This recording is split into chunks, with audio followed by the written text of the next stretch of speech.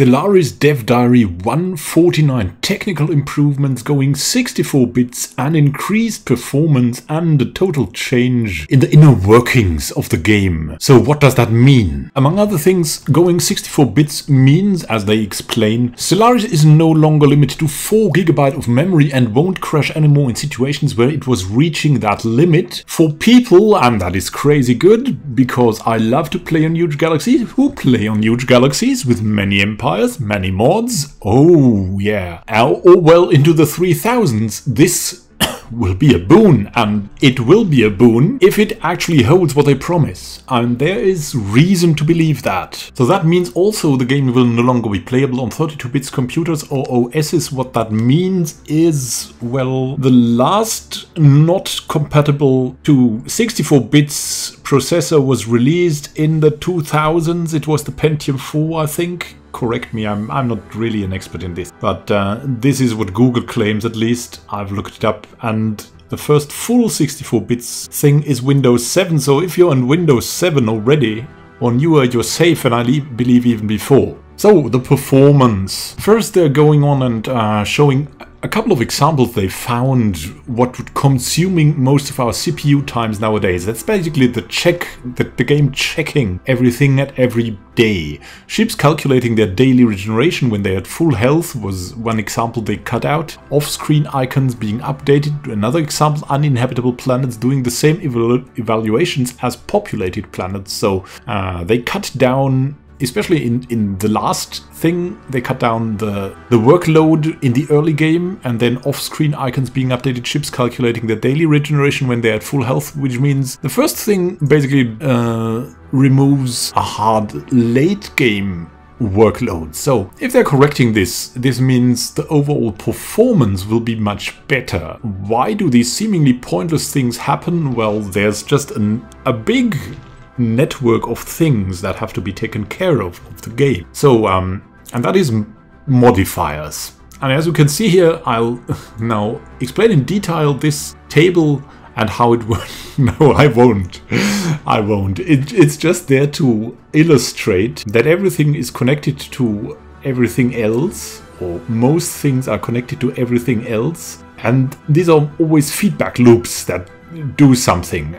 Only rarely are there some components of this that don't get like that are just modifiers like what what only uh, has one line connected to the rest is a modifier.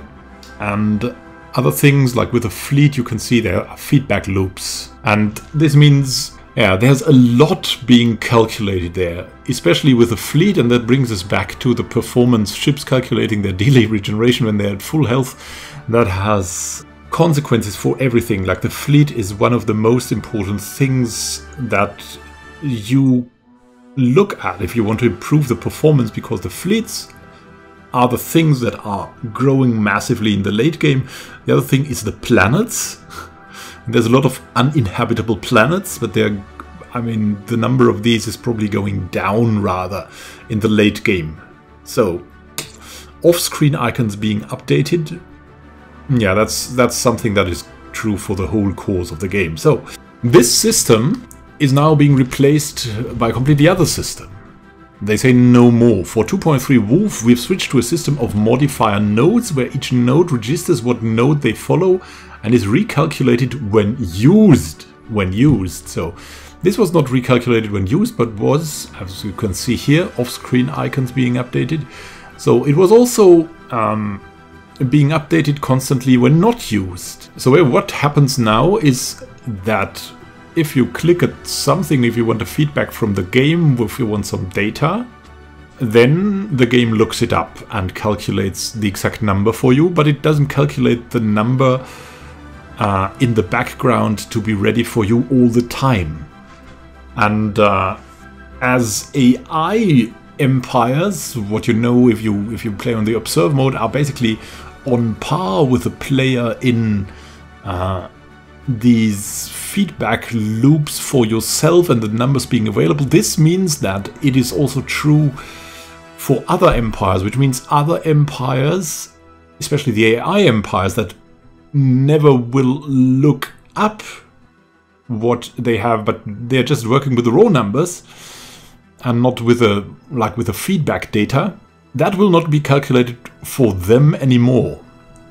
I hope you understand that. It's kind of it's kind of crazy, but I think it worked that way because in observe mode, um, you can clearly see that uh, there is not much that differentiates an AI empire from a player empire in terms of showing things.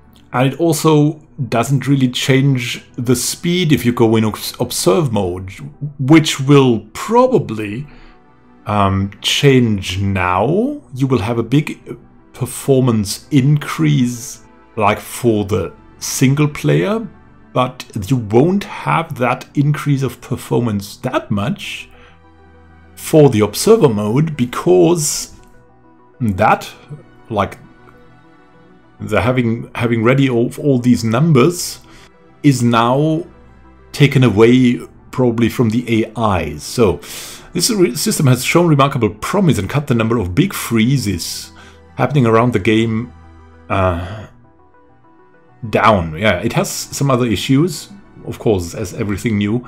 As we continue working with it, it will get better and help both with performance and our programmer's sanity.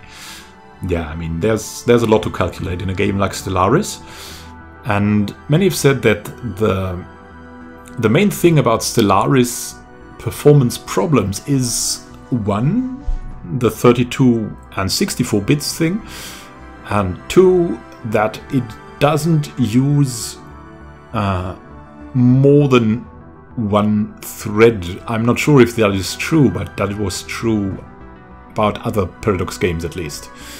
And so, if they can manage to let it use hyper-threading, then we'll have a very, very smooth game, and then they can include a better AI.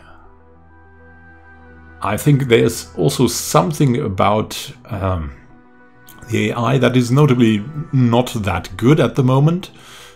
Um, that has to do with calculating power and the very, very low requirements for Stellaris. So that is so for everyone to be able to uh, play the same game, they're sacrificing a bit of the AI because the AI is what makes the game in part with so many numbers faster or slower. What's the verdict here? In the tests, 2.3 Wolfe is between 10 and 30% faster than 2.2.7 right now, which is crazy good. That's an increase that you you wish to get. I mean, let's say it's on mean 20% faster. That will be great and for, for my own thing, I love to play long games, and I love to play from uh, to to have uh, running sometimes my AI tournament where you can participate, sending a user empire in, like where AIs play against AIs, and that's usually a thousand years of the AIs against each other. Yeah, that will help a lot. because a lot of this increase is in the parts of the game where the game often freezes. That is the late game and where it goes notably slower. No one is complaining about the early game or about the first 100 years because that's just great.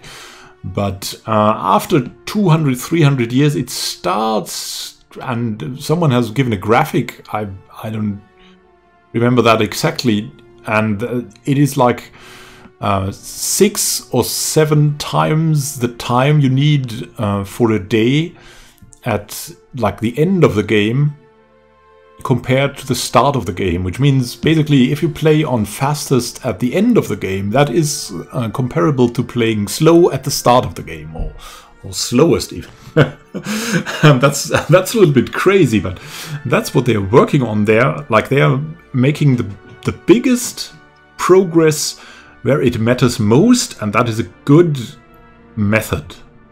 So, Galaxy View Performance Speed 4. I don't know what that is. I think it's fast or something. Unidentified Crisis AI 1, as you can see here. What do we have here? I, I haven't really seen in that yet. Yes, you can see here that you have 0 FPS, that's the number, and 60 FPS, that's the number, and you can see here that up until 100 years, 60 FPS is no problem. And then we go down to the 2400 years, and it's still okay. It's in the realm of 40 FPS or something. And basically the AI is the bottleneck. Um, uh, not the AI, the, the CPU is the bottleneck, which is, and it's mostly using one core of the CPU. So basically a, a processor that is very quick is better than a processor that has multi-cores uh, for Stellaris at the current state of the game. And you can see here, I would predict that in the old patches, it would even go down here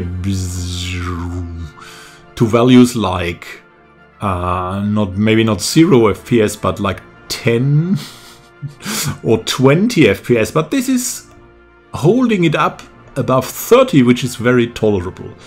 And that would be great. I mean, that would really be great. As you can see here, yeah, there's some countries, update flags. What is this blue thing? Fleets, yeah, fleets starting to go down. And look, there's a high number of fleets, but still the game holds well. And we have here the smooth signal. I don't know what the smooth signal is. I should look more into that, the gateway access. Um, yeah, the gateways have also been mm, causing freezes, I'd say, and if that notably changes, then it's very good, of course. So and you, yeah, you have your, here the new archaeological sites. They would probably go down with a with a number in number after the start of the game, right? I don't know. Maybe they are also created. There's pops, as you can see here, because there's a crisis running there too. So, um, Sovereignty has measured this, and it's worth noting the ship's serial purple line has since been eliminated.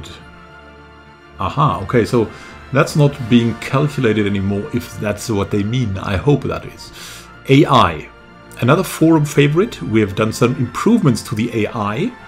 First, with a very notable Glavius AI's creator, namely Glavius. I've done some research now into that, and there's basically two mods that are good for the AI in Stellaris, and they work hand in hand. It's something called an Enhanced AI, and it's the even more prominent Glavius AI mod. What, what they, they've used with his permission, the job waits to improve general AI job distribution. We've also done the usual pass of polish and improvements and of course taught the AI how to use all our new features, namely mostly archaeology. So, what else is new? Getting a new crash reporter that will send your crash report as soon as they happen rather than the next time you start the game. And that's usually good because if you want to start up the game, you want to start up the game, you don't want to send a report. But if it just happened, it's the same with learning, right? If you just happened, you still care about it and you send it back and maybe they can learn something from it. Hopefully. We've improved our non-Steam network stack for connectivity issues. Now that's something I'm looking into too, using the Paradox launcher. I've tried it once and it has led to some problems, but it's in beta still, so that's good. And maybe it, it can also increase performance. I, it, I mean, it could do that. It will hopefully do that. And now, enough of my yammering. That's the uh, technical lead on Stellaris. He's yammering. Ah, he's not yammering. That's, that's, that's probably just tech talk. That much. And as you can see, most people agree with that. Um, and are happy about that. And let's hope it delivers a lot this time. And uh, it failed to deliver last time. They promised something big about this.